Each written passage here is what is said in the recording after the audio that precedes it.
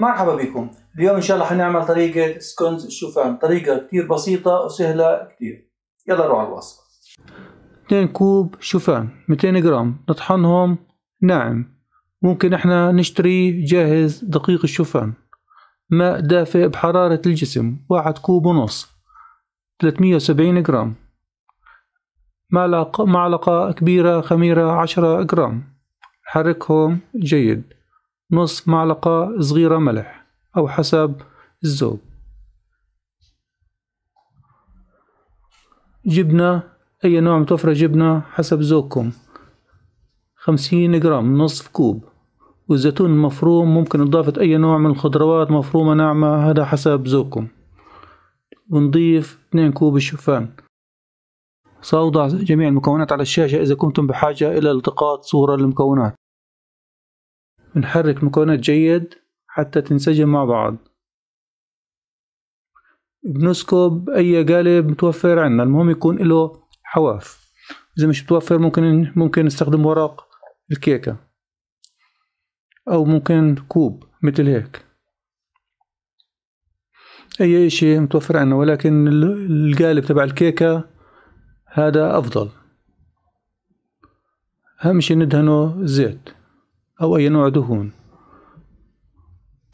بنسكب هيك أصبحت جاهزة. نمسح الصينية وبنغطيها. بأي شيء متوفر عنا نتركها حتى يتضاعف حجمها. نص نص ساعة ساعة. المهم يتضاعف الحجم. بنسكب أيضا بالكوب.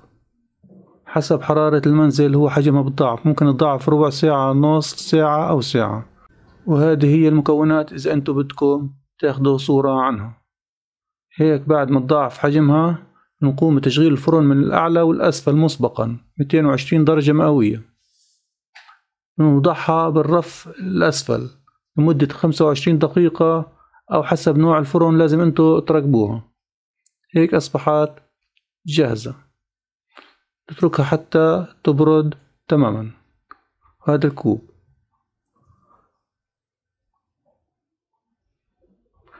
هي لسه سخنة شوية ولكن أفرجيكم إياها على السريع عشان تصوير لكن انتو تتركوها تبرد بكون أفضل.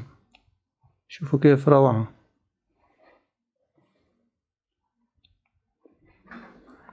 هذا شكلها. أتمنى إنه أنتم تجربوها. طريقة كتير بسيطة وروعة. أفرجيكم كيف شكلها من الداخل. شوفوا كيف. كتير روعة.